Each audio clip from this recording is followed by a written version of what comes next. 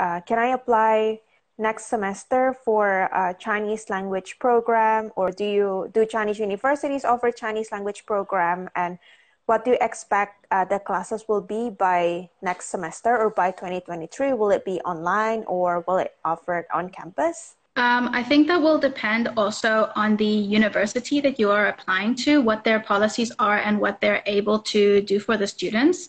Um, so when you're applying for uh, if you want to study a language, Chinese language program in China, please just make sure when you're checking on the website that it's not one of the online courses that you're applying for. Mm-hmm. Because if it says it's like the BLCU or BLCC online course, then it's not, you can't apply for a visa with that. That will be exclusively online.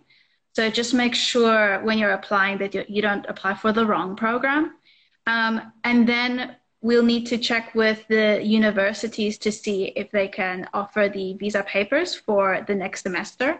Um, and uh, how how fast can they process those papers and how uh, if your um, embassy is open your chinese embassy in your country is open or not. Some are not open some are. So you will have to also check that for availability. Um, i think a lot of universities are going to go through a lot of efforts to have students come back to china as soon as possible um, but I think one thing to consider is the price of having to go to China right now or soon. Um, the flights, because there are not many flights, are still quite mm-hmm. expensive. So a lot of people maybe they have to pay quite a lot of money to, uh, to, to fly there. And then also the quarantine is also a price that you're going to have to pay.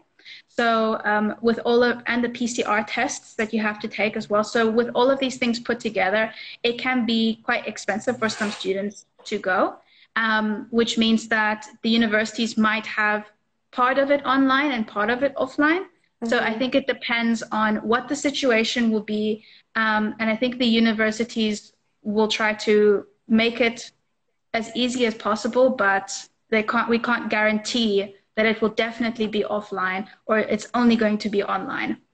We'll have to see mm-hmm. as the, the months go on what is what is going on with the border situation.